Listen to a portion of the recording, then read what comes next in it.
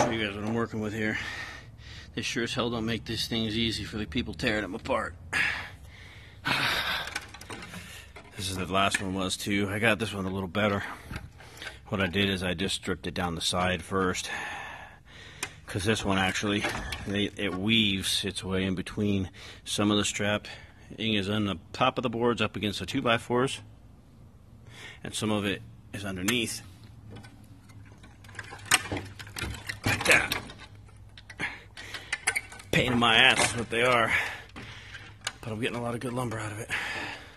And they're really not that long. Honestly, like, I think I've been at this an hour and a half and I got one and basically a half done. That's where I'm at. Alright, I'll show you again once I'm almost all the way done.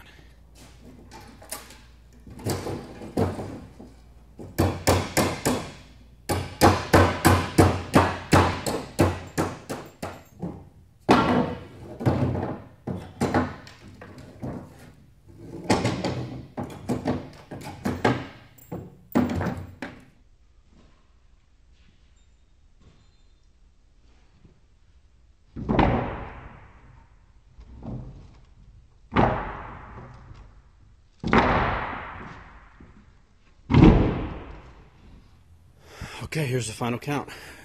From those two skids, I got 32 1 by 4 by 5s. I got uh, 10 2 by 4 by 5s. I got 9 2 by 4 by 8s and one 2 by 4 by 8 that was broken. Not bad. Two hours work, really. Plus a whole bunch of nails I'm going to have the boy round up next time we're here, which will be tomorrow. Well, he may not be here tomorrow, but you'll be seeing him, don't you worry. I'm going to teach that boy a work ethic.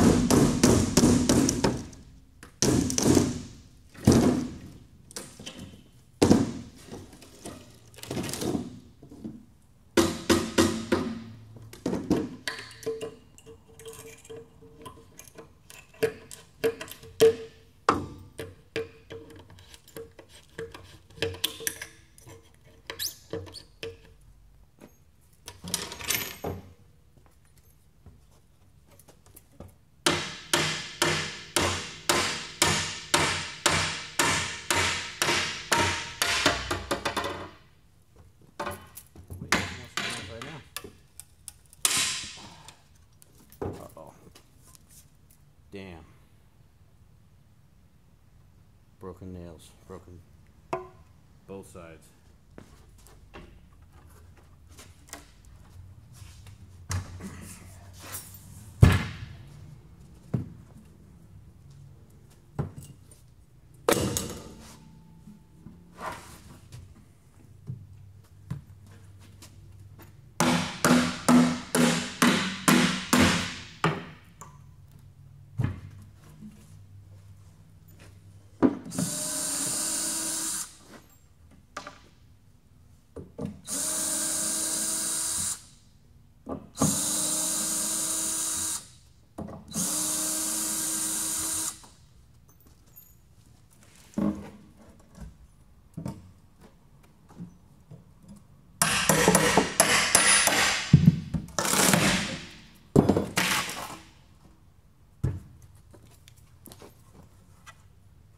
One down.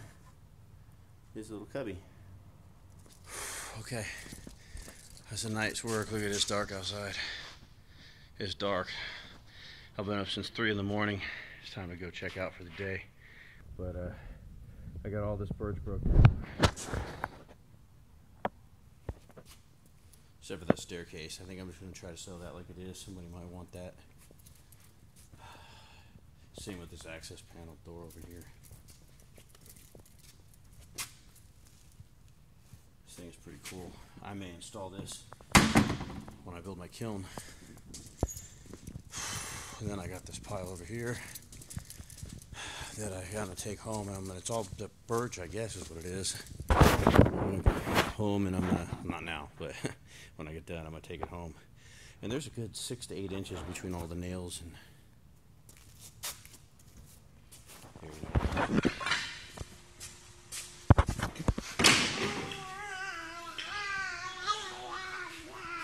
He's moving the, the pile from there to there. Maybe when he's done, I'll have him move it back. What do you guys think? No. All right, I got some oak. That ended up being a flop. It wasn't really that oak. There was some oak paneling on it, or plywood, right here. But uh, that was it. This is just a regular old CDX. But I got all OSB. Looks like five sheets.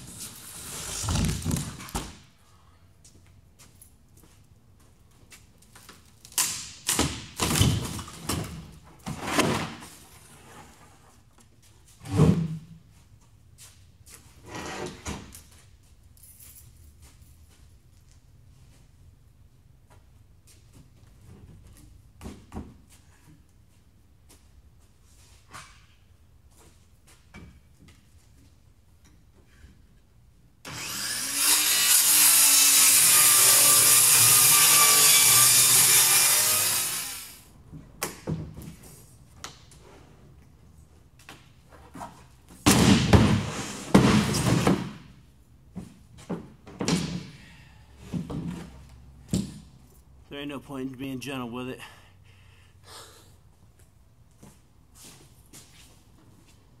Just get after it, get it done.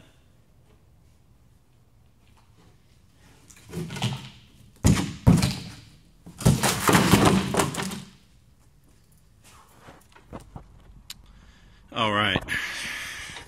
You know what these are? I just found these in a box. They're ClosetMaid. They're 16 inch shelf brackets. They uh, they clip on like what you'd find at the stores to hold up those big metal shelves. I think these things are about 15 bucks each. They might be a little cheaper on Amazon or something, but I got 25 of them. So I'll be selling these on There's like an eighth of an inch of oak skin or something. Oh, I'm putting it the wrong. Oh no, that's this one. And then it's like a half inch thick particle board, maybe even like quarter inch thick, and it appears to be real oak skin, but it's stapled to. I can't get it off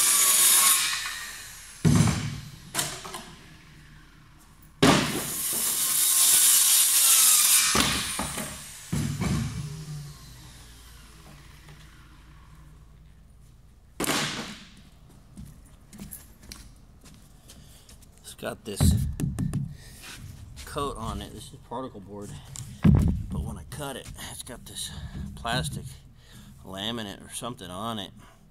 And you can see it's chipping. It doesn't hurt, but it doesn't feel either good either. Alright, what I'm doing is this is a nice metal rack here. I can use this when I get my kiln built to uh, stack lumber on there and roll it in and out of the kiln.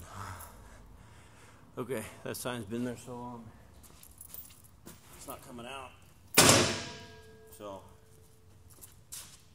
pry bar time.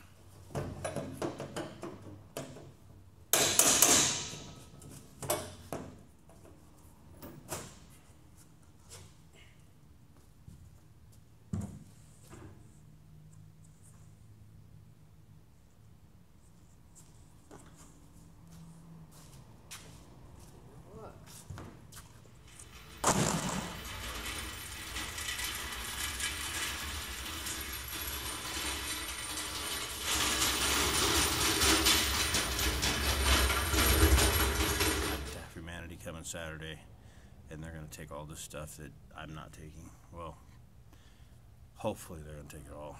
Whatever they don't take, I got to tear down and cut up and throw away. no. Back at it.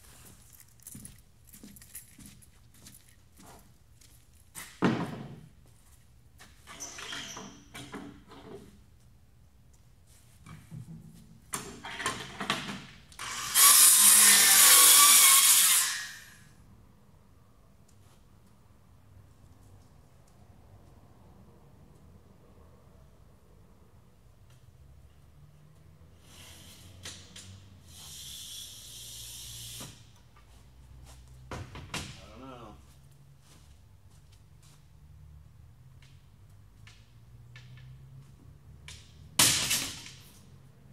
Whew, it's a little scary. I'm gonna put some eye stuff on. All right, they're here. They're unloading. here. what we got looking at. It'll be gone after today, most of this.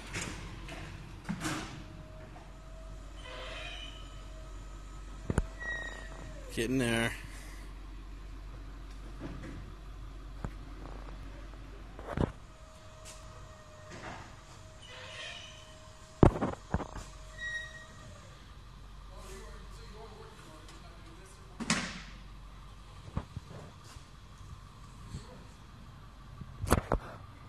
All right, here's some of the, the first load. I'm actually waiting on my trailer to get here so I can get the rest of the stuff, but it's supposed to be here tomorrow, but I don't want to wait for it. I'm going to start taking as much of this as I can fit in the back of this SUV here. Um, so far, this is what I got. I can't fit the 10 footers, but I can get some of the 8 footers right up the middle there, as you can see, and then some of the 6 footers and 7 footers, and then all the 1 bys. I've salvaged quite a bit of wood here. This is awesome. Now, there's still more. I tell you, I got enough wood to build my shed.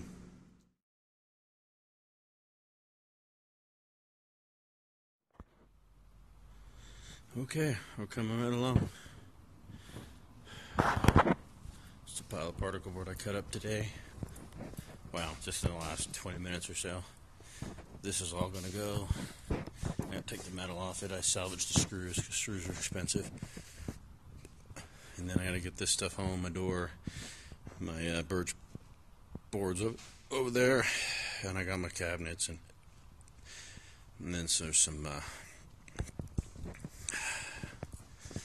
There's some pallet slats in here that I'm going to take. You never know when you're going to need those. That's it. Hoping to be out of here in three days.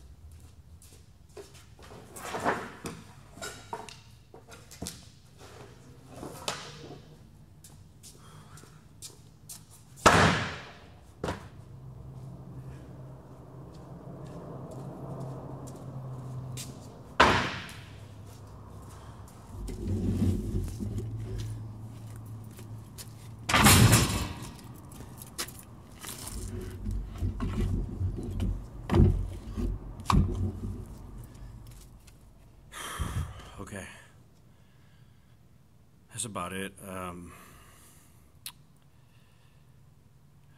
so this is what happens. The stuff that I salvaged out of here, I'm going to show you what I do with it. Um, some of the things I've already sold on eBay, so I'll, I'll post. I wasn't smart enough to think about um, screenshotting them or taking uh, Bison videos of the listings. I got one. I don't know if I showed you, but these uh, office phones I took out of here, I got those sold already. And then I sold, uh, what was it? It was a digital typewriter and a box of those 16 inch heavy duty brackets. I showed you those, I remember. I sold those, and there's some other stuff too that I'm going to sell still. And then I'm going to build, like I was just talking about in the previous video, build a little picnic bench. But that'll all be a separate video. This is just the cleaning out portion um, just to show you what I did, what I've done, and then what I'm going to do is everything I, I make to sell or that I've salvaged, I'm going to post to my Facebook page and link to my eBay. And if you have something that you've built that you want to sell, advertise it on my Facebook page. And then if somebody's interested, set up a YouTube and or not a YouTube, set up a eBay auction or buy it now, and then private message them the link to it and then you guys can work out a transaction through my page. Basically, treat my Facebook page just like a virtual swap meet. Um, so if we can get enough people to subscribe to the YouTube and enough people to go to the Facebook page, we can use those in correlation with eBay, and maybe we can have like our own little community of um, a way to advertise. You know, a way to get your items, your products, your crafts out there. As long as you make it, I really don't care. Even if you don't make it, man, I, I really don't care. But I'm not liable for anything. If someone sells you junk, that's on you. Do your due diligence. I'm not playing middleman. I'm not solving disputes. I'm not processing payments. I'm simply providing an outlet for you to advertise and find things. And then you guys can meet up on YouTube, uh, eBay and finish the, the transaction yourself. I advise not purchasing anything unless you use PayPal or going through eBay or some kind of reputable, um, uh, uh, you know, listing site. Um, there's a bunch of them out there. You guys know. So this is what we got. This will pretty much wrap up this video. Um, I may show you a little bit of my. Oh my, my house is so my garage is so cluttered. I'm going to show you a little bit of building the shed, and then getting my garage cleaned out and turning that into my uh, my sawmill. So that'll probably be the next video. This will just be starting. Um, for now, they're not going to come off regularly until I get up and running with the sawmill and and I'm to the point of I'm trying to get my kiln built and I'm trying to make money, you know, cutting cutting boards or, or whatever. So that's where I'm at. Like it, share, and subscribe. And if you want to see me sweat, just come back. I'll, I'll post new videos as often as I can. Hope you guys have a great day. I'm Roy Pearson.